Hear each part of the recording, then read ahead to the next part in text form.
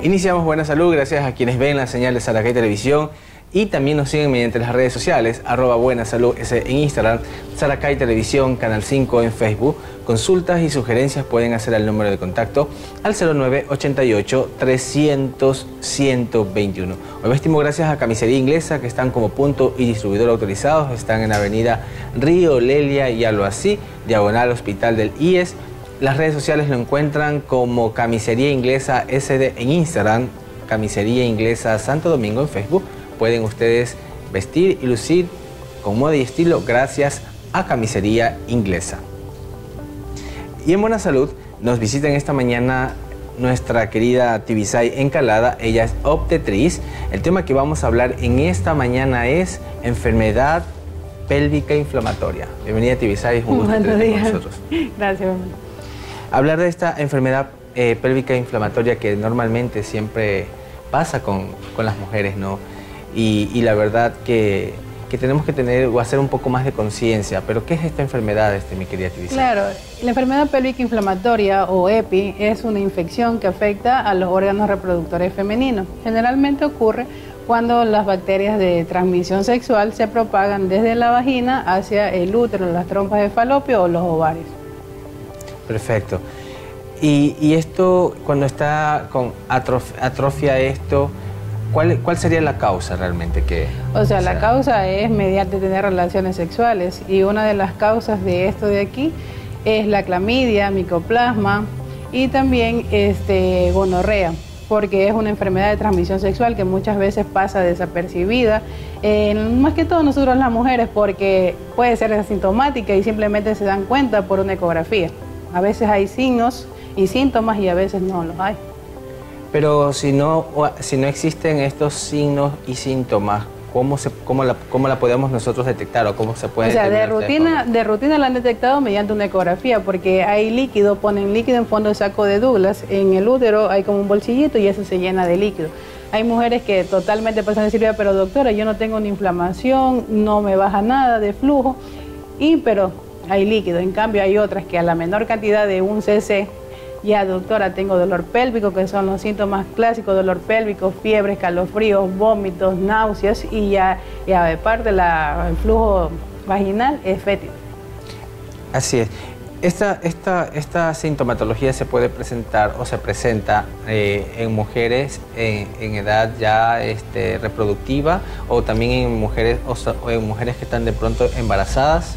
En todos los dos casos se presentan, tanto en mujeres embarazadas desde que inicia la vida sexual reproductiva, pero es que depende también eh, la clase de cómo te protejas. Si usas preservativo, obvio que no vas a tener, porque es una enfermedad, como ya te dije, de transmisión sexual.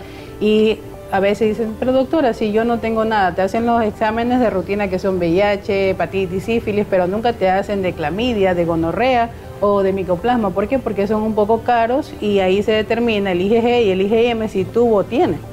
Bien y son exámenes que no, muy poco se piden de rutina aquí. Estos exámenes que, acabas de comentar, ¿cuáles eh, o qué, qué, determinan? Eh, ¿Por qué es importante o por qué ustedes eh, envían a, realizarse estos chequeos para que puedan ustedes de pronto decir estás con un problema pélvico? Claro, porque la, más que todo llegan las pacientes a la consulta y dicen, pero doctora, este, ¿cómo puede ser si le estoy diciendo que es una enfermedad de transmisión sexual, más no que te vas a morir por un VIH o algo?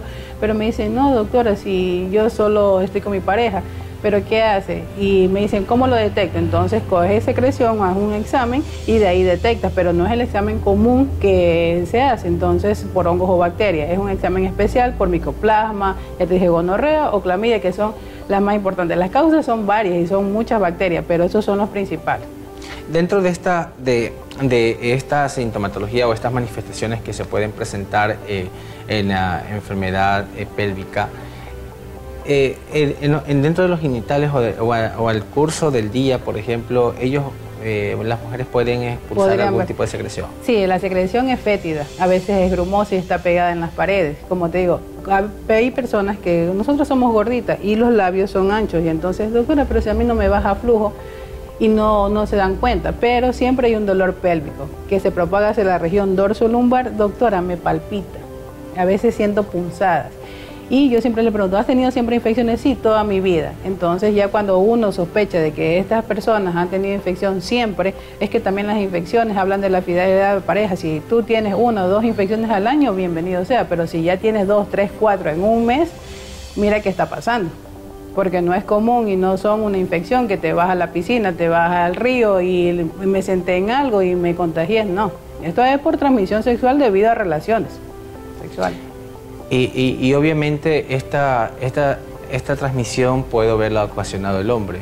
Claro. Porque la, puede ser también la mujer que lo haya lo, puede mantener. La única forma que te contagia es por tener relaciones. Y si tú no tienes otra pareja sexual, ¿de dónde vas a tener? Entonces ya vas viendo cuál es el foco. Y a veces entonces hagas exámenes cada uno para determinar eh, cómo tienes. Y el tratamiento puede ser ambulatorio, pero también ya cuando el dolor es crónico y hay una fiebre de más de 38 y hay que recurrir a hospitalización. Pueden confundir de pronto la, la, este, este, este, esta enfermedad de pronto con, problemas de los riñones, porque a veces es un, es un, problema que dice, no siento nada acá, pero el dolor está alojado en la y parte... Me, y me arde el orinar, siempre. Es que, mira, yo sinceramente cuando ya llega una paciente me dice, doctora, yo en seis meses he tenido unas 20 infecciones, ¿sabes qué? no tanto examen de orina, hazte una, una ecografía transvaginal porque no se ve lo mismo por vía vaginal que por arriba, que es la pélvica. Y entonces ahí se determina y hay líquido, hay que sacar. El tratamiento consiste en pareja, no lo puedes dar un tratamiento solo a ella. ¿Por qué? Porque, doctora, estoy casada, tengo 10 años. ¿Y qué hace que yo la cure si ella vuelve al círculo, tiene relaciones y vuelve peor? Se vuelve a llenar, se vuelve a llenar. Y esto también es una causa de infertilidad, de embarazos ectópicos, una infección pélvica no curada a tiempo porque se y, y, a veces, yo creo, no, o si estoy equivocado, hay mujeres que, que, tienen este problema y siempre se están automedicando. Van a la farmacia, compran cualquier medicamento o el que le hizo bien a la amiga y están tomando, tomando. Esto puede causar algún tipo de resistencia. Más que todo, sí, una resistencia cruzada de medicamentos que mi amiga me dijo y me pongo estos óvulos y cuando es recién y tienen una línea de este líquido por la ecografía que se ve, se pusieron óvulos y se acabó el problema. Pero lo van enmascarando. Toman paracetamol y van enmascarando. Cuando ya llegan, doctora, no aguanto el dolor. Y de ahí uno ya determina qué es eso. Porque hay un examen para determinar eh, una infección pélvica inflamatoria. Es como un conjunto de todo. Pero el gol estándar es una ecografía transvaginal para determinar la cantidad de líquido, como te digo. Eh, más que todo tienen que buscar cuando, doctora, quiero tener un hijo, pero no puedo es una de las causas de infertilidad, porque ya te dije, es las bacterias, virus, hongos y parásitos de la vagina ascendiendo a útero, ascendiendo a trompas, ascendiendo a ovario. Dice, doctora, tengo dos, tres años y no puedo tener un bebé. Entonces, porque van a formar un acceso tubárico y es muy difícil que el óvulo fecundado pase a la trompa y de ahí al, endometrio, cuando se implanta el bebé. Entonces, todos esos exámenes uno debe hacerse. Cuando ya eh, estas mujeres... Eh, eh, que, están pasando por esto, digamos que se embaraza, puede ser que durante todo el periodo del embarazo tengan este tipo de, infecciones o problemas de Sí, y hay que tratarla a tiempo porque es riesgo-beneficio con la paciente. La mayoría de mis embarazadas están así, llegan a la consulta, dolor, dolor y puede ser una causa de aborto. Entonces hay que tratarla y o si no hospitalizarla porque la cosa es que tengo que salvar al bebé y están con dolor, mucho dolor y a veces también se confunde con una candidiasis o una vaginosis, porque si tú le pones un espéculo, ves y lo mismo, como grumos en las paredes pegadas. Pero doctora, ¿le das el tratamiento? No, doctora, me sigue doliendo. Entonces ya recurrimos a la ecografía transvaginal que me determine qué es que está pasando ahí arriba. Muy bien. Al regresar del corte, doctora, eh, para seguir platicando sobre cuál es el tratamiento, porque y cuáles serían también las recomendaciones que, que ustedes como de la parte ginecológica, la parte obstetriz que ustedes siempre están checando, ¿cuál ¿cómo sería el cuidado en casa? Porque a veces también esto viene desde casa, que a veces no hay mucha asepsia o higiene también por ese lado. Pero bueno, vamos a, mirar todo esto al regresar después de esta pequeña pausa. Enfermedad pélvica bacteriana es el tema que estamos tratando en Buena Salud con Tibisay Encalada. Tibisay, Hablemos un poco sobre estos tratamientos, porque ya hemos visto eh, que es un problema realmente, o sea, así que creo que hay que hacer conciencia. Sí, no es algo a la ligera, no es una infección de esas comunes que uno tiene, es más complicadito. Es más complicado. ¿Por qué se pudiera complicar si, si de pronto las personas no, no hacen conciencia? Es un pequeño, una pequeña inflamación que tengo, simple, me voy a la farmacia, me tomé este medicamento, hizo resistencia, me curé en un momento, luego regresa, retorna y así estoy un buen tiempo.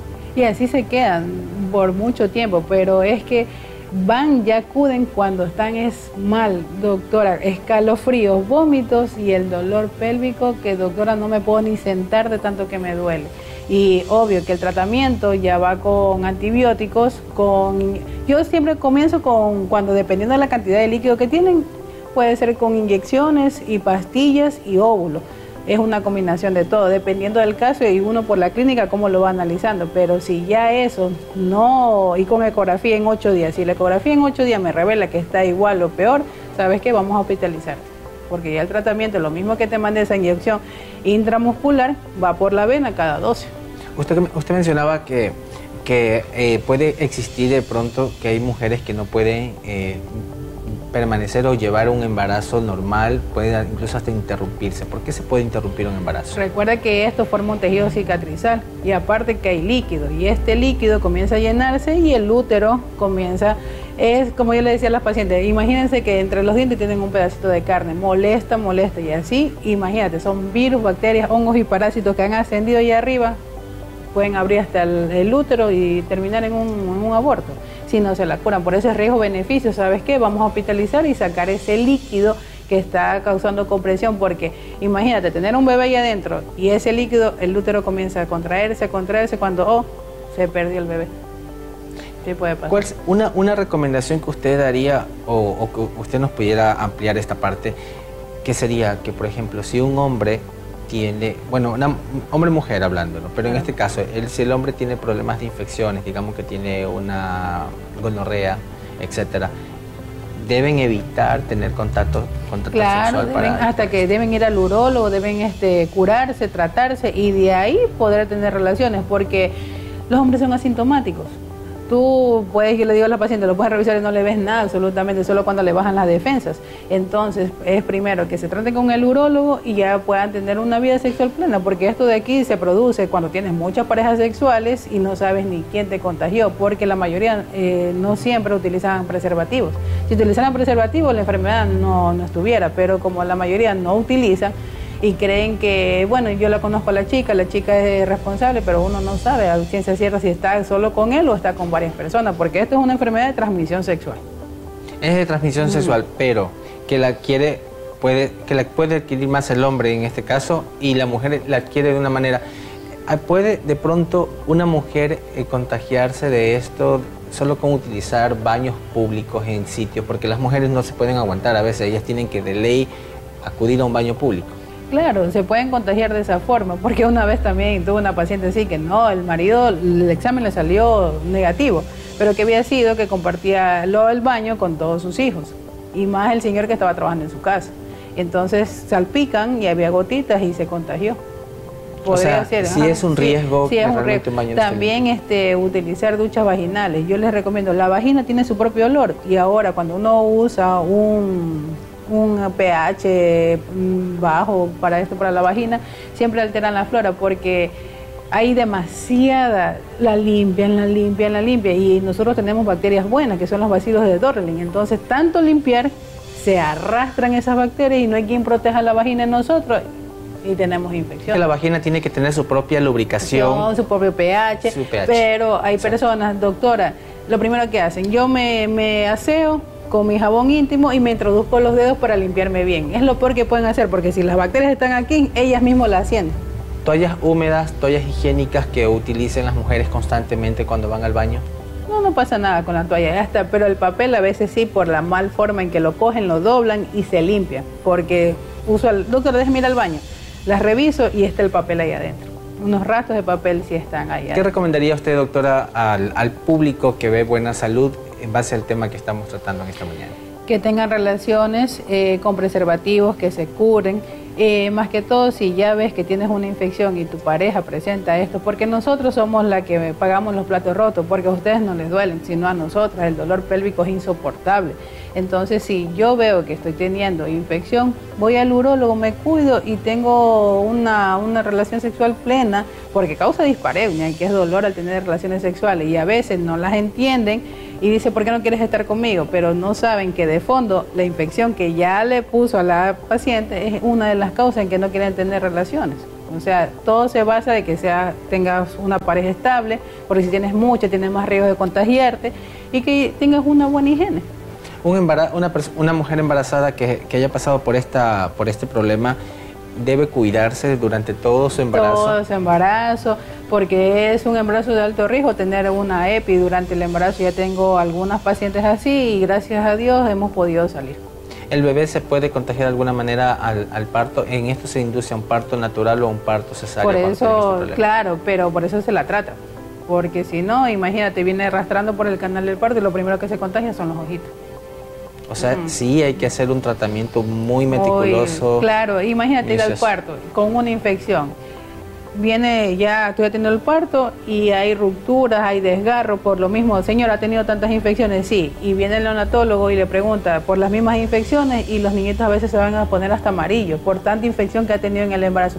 O también te dicen, doctora, yo nunca he tenido infección porque nunca me ha bajado. Le pones el espéculo y es como que estuvieras grumo, grumo, grumo en todita la pared y a veces asintomático. Aquí esta enfermedad lo que pasa es que puedes tener hartísimo líquido y no siento nada. Hay otras que tienen poco y siente que se muere.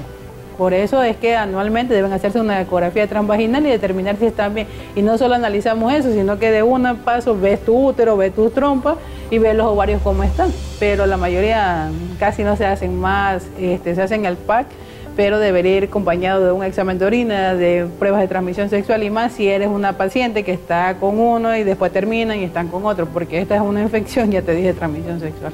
Así que a, cuidarse, de verdad que es un tema muy, muy, muy controversial también y, que de tomar la importancia, porque como usted lo acaba de decir, hay, hay, mujeres o hombres que tienen diferentes parejas sexuales y esto hay que tomarlo en cuenta al momento de tener relaciones porque una enfermedad pélvica inflamatoria, por más tal vez el nombre se lo ve simple, pero ya ahondar y, estos conocimientos que nos están impartiendo mediante el programa, de verdad que sí hay que tomar muy, muy en cuenta y, en consideración y, sobre todo acudir a su ginecólogo de confianza. Eh, Tibisay, ¿dónde está ubicada tu consulta? ¿En qué horario está atendiendo y todo eso?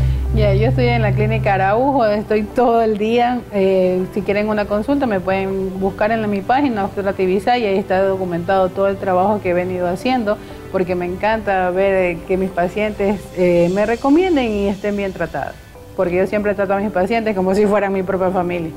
Eso es lo importante, apersonarse del caso de cada uno, ¿no? Claro, es que cuando amas tu profesión eso, a mí me encanta lo que hago.